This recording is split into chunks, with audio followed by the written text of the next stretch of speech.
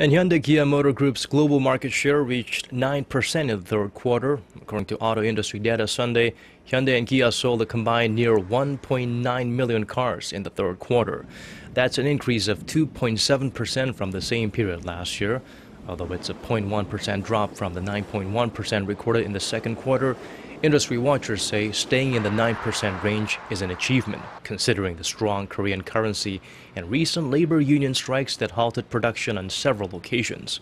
Hyundai Motor Group, the country's biggest automaker, said extended operations abroad could make up for the domestic production problems.